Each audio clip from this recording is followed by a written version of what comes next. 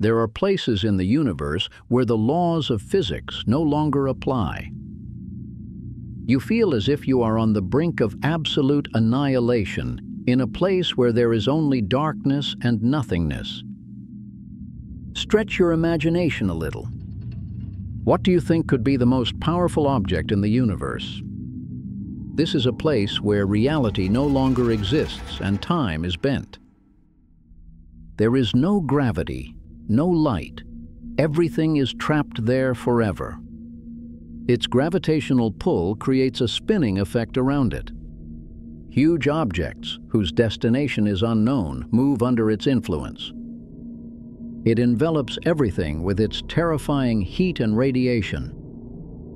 Yes, you guessed right. I'm talking about a black hole. But not just any black hole. A monster with a mass of 66 billion suns. Let's examine this monster together. But before we get to the video, please subscribe to our channel and like our video on this space journey we've embarked on together. Our channel is still very new, so we need your support. TON 618 is located near the border of the Canes Venatici and Coma Berenices constellations. Long before the Hubble Space Telescope was launched, in 1957, astronomers at the Tonantzintla Observatory did not immediately recognize it as a supermassive black hole. Astronomers focusing on this massive object, visible from very far away, were initially a bit surprised because this massive light source was much brighter than known stars. In fact, what they observed was the massive quasar of this supermassive black hole. But what's really interesting is that in the 1950s, we knew almost nothing about how quasars formed. Scientific studies in the 1960s and 1970s revealed that the bright lights around these black holes, which look like stars, are actually the black hole's energy emissions. Through spectroscopic analysis, we can determine whether an object is a black hole or a star based on the energy emissions it emits. Let me give you an example to help you understand better. High-energy radiation, especially X-rays, spreads around as a result of the acceleration of the accretion disk around a black hole. The most important reason for this is that black holes draw matter from their surroundings. Stars, on the other hand, do not emit as much X-ray radiation as black holes. Since stars do not pull matter from their surroundings and do not move at high speeds, they generally do not emit radiation at speeds as high as black holes. Furthermore, black holes cannot be directly observed because they have a structure that traps even light.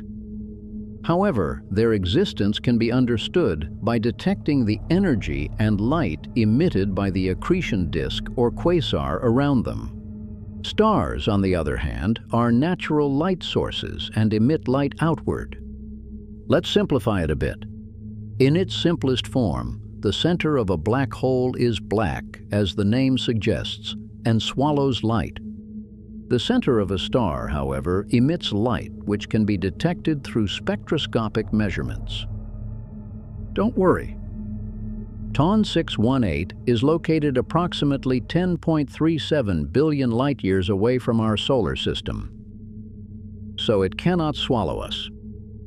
Its redshift value is 2.219. Formed in the early days of the universe, TON 618 is like a time capsule. The first light from it set out on its journey about 10 billion years ago. We cannot see objects this far away with the naked eye. The most distant galaxy we can see with the naked eye from a village far from the city or from the seaside is the Andromeda. It is only 2.5 million light-years away from us. TON 618 formed in the early days of the universe during a period when galaxies were slowly beginning to form. Its center is a place of infinite density and infinite gravity where time breaks down.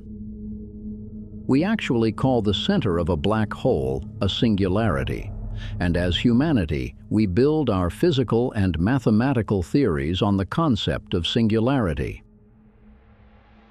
This is because the information we have is very limited. We define the outer boundary of the black hole's center, where time loses its meaning as the event horizon. The event horizon is a point of no return. Everything that passes through it goes to another place that we cannot define or understand with the laws of physics never to return. Even light cannot return after passing the event horizon. The quasar around TON 618 emerges from the energy emitted by a very high-energy accretion disk. This energy arises from the black hole's powerful gravitational pull, causing matter to spin rapidly, collide, and generate extreme heat and gas emissions. Quasars are also known as active galactic nuclei, where gas and dust are rapidly pulled in. As a result, they emit radiation across all wavelengths, from visible light to deadly X-rays and gamma rays. Due to the bending and breaking of this monster's magnetic field and the effect of its gravitational pull, some of the energy is converted into plasma jets that shoot out at very high speeds from the polar regions. These plasma jets shoot out at nearly the speed of light. By blowing away gas, they can halt star formation and essentially shape the formation of the galaxy. To give you an idea of how big TON 618 is, here's some information. TON 618 has 16,500 times the mass of Sagittarius A, the supermassive black hole at the center of the Milky Way. Imagine what would happen if TON 618 were at the center of the Milky Way instead of Sagittarius A. Our solar system would probably have disappeared before it even emerged, or different star systems would have formed. Because, with the terrifying gravitational pull of TON 618, it seems highly unlikely that our solar system could have formed in its current state. Still, let's imagine for a moment that TON 618 is at the center of the Milky Way. We are suddenly faced with a brightness equivalent to the total light of 100 trillion suns. It emits such a bright light that we cannot see other stars. This shows how powerful a quasar it is and that it has a much larger black hole. If TON 618 were somehow placed at the center of the Milky Way, the gravitational effect it would exert on its surroundings would be immense. It could significantly alter the orbits of stars in the Milky Way stars and planets currently in stable orbits around Sagittarius A would be pulled inward, potentially causing massive collisions. The structure of the Milky Way could also change due to the immense gravitational pull of this monster. Furthermore, the X-rays and gamma rays emitted from TON 618's accretion disk would have devastating effects on both our solar system and other star systems where life might exist. Perhaps life on Earth would have ended before it even began. As you approached it, you would see that the laws of physics no longer applied, that time began to bend in its irresistible gravitational field, you see plasma jets fired outward at the speed of light flying outward at near light speed. Significant changes are happening in the galaxy. Absolute darkness surrounded by fire and infinite singularity. So how could such a powerful black hole have formed? Actually, we don't know exactly how black holes are formed, but we still have some theories. It is thought that black holes grow by pulling gas and dust around them into accretion disks. TON 618 reached this size by pulling in stars and objects in the galaxy around it. The fact that it reached this size shortly after the formation of the universe may be due to the large amount of cosmic debris around TON 618 that allowed it to grow. This is because the expanding universe had a much denser structure in its first billion years than it does today.